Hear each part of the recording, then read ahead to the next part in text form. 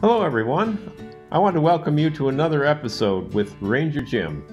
And I wanted to share with you a build out that I did on a toy hauler a camper conversion a few years back. It's worked very well for me. What I did is I bought this toy hauler that was just a basic shell, nothing on the inside. And I bought a secondary trailer, uh, an older trailer, for about $400. So the total cost was under $2,000 for this build out. You can see I have a rear entry door there as well as a side entry door.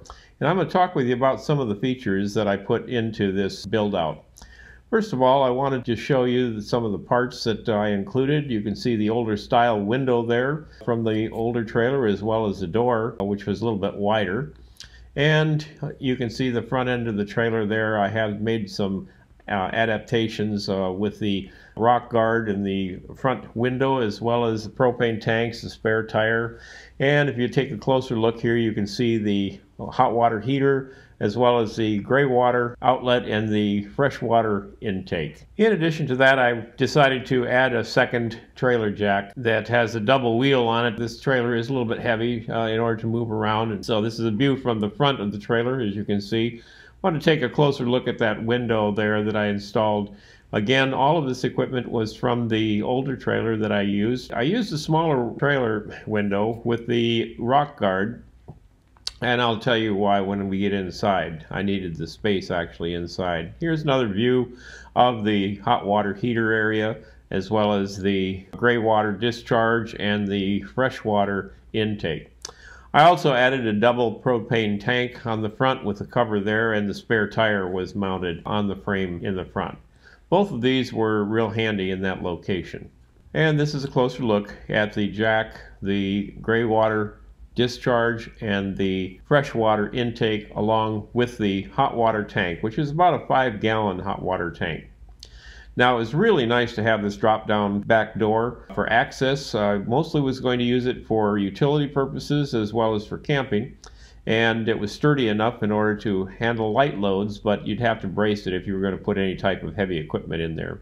I was also able to retrieve the electrical from the old trailer, and I mounted that on the outside in the front of the trailer. As you can see, the inside of the trailer here needed to be protected from the bugs, and so I installed this bug screen, which is uh, held together by magnets, makes it real nice getting in and out of the back of the trailer.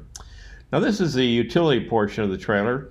You can see that I kept the area open in order to make it accessible for hauling and storing things, as well as uh, make it versatile enough for camping if I wanted to use it in that way. And you can see here on the side, the, I installed these drop down bunks. Uh, they're just held up with one latch and uh, the mattress is stored behind. So there's a left bunk and a right bunk with the drop down supports on it. Made it real easy to um, put these down, put them back up, and to store the mattresses along with it. Now, as we look forward, we see the kitchen area, and I'll take a closer look with you at that kitchen area and the things that uh, I included from the older trailer that I had bought. I also installed an under-the-counter remote controlled CD player with uh, AM FM radio in it.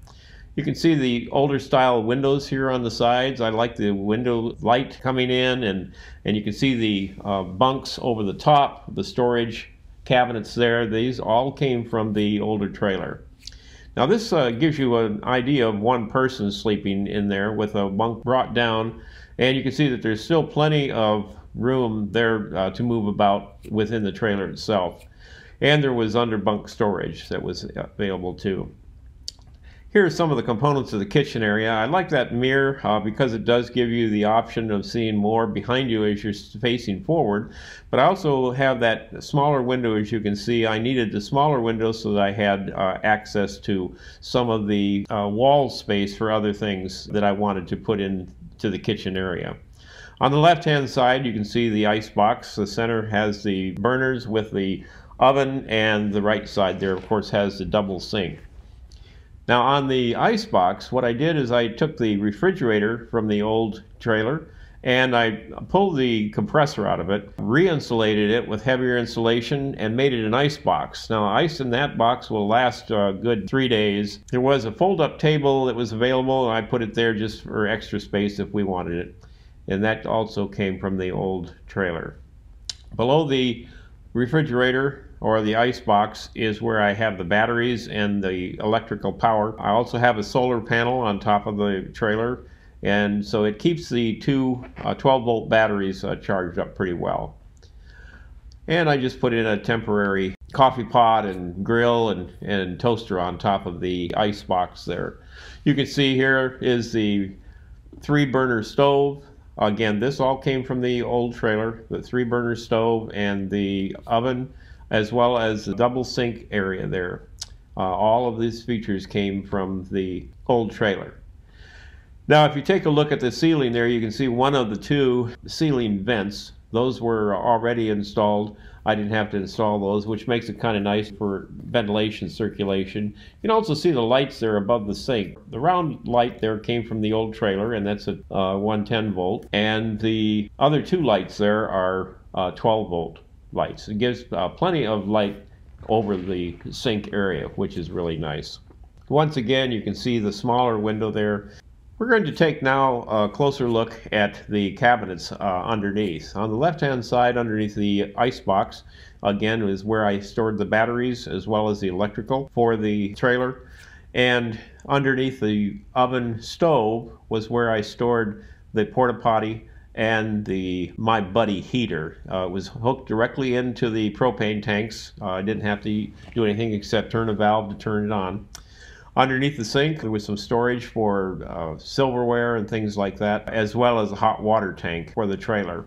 The far right, there was a temporary gray water hook up there if I wanted to use it inside, but I found most of the time I used that outside, just pulled that tank, it was on rollers, and put it under the gray water discharge on the outside. The uh, floor in the kitchen area was linoleum, but I did throw some uh, rugs over the top of it just to make it a little bit warmer in colder climate, and they were easy enough to shake out. I did have linoleum on the floor. Once again, this is an overview of the inside of the trailer with one bunk set up. Again, you can see the area was nicely open and accessible. This is the setup with the two bunks down so that you could sleep two people uh, comfortably separately.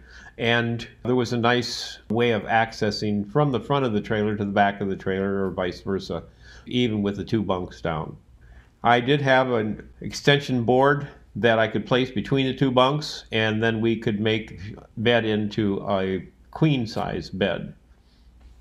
So I just uh, wanted to thank you for taking a moment to look at this build out. It was a toy hauler camper conversion. Once again, the original trailer was around $1,300. It was built extra tall. It was about six and a half feet tall on the inside uh, to accommodate taller people, which was really nice. Uh, a little bit harder pulling down the highway, but it did pull nicely too. But the uh, additional trailer that I bought was an old used trailer. I was able to salvage a lot of the parts out of that for about $400. So total build out on this was under $2,000. And we, uh, we traveled across the United States with it and on the Trans-Canadian Highway uh, all the way back to the West Coast. So it held up really well under all of that travel. We've had a lot of uh, family vacations with it and uh, traveled over to the coast of California been able to do a lot of different type of camping with the trailer, as well as to use it for utility purposes. I've hauled woods, I've hauled hot water heaters, there's all kinds of things that I've hauled in this and it was nice, nice and versatile for us to be able to use over the many years. Well, I'd like to thank you again for taking the time to uh, observe this uh, toy hauler camper conversion build out. And if you had any questions, uh, please drop me a line. If you like the channel, please go ahead and subscribe. Thank you. Bye now.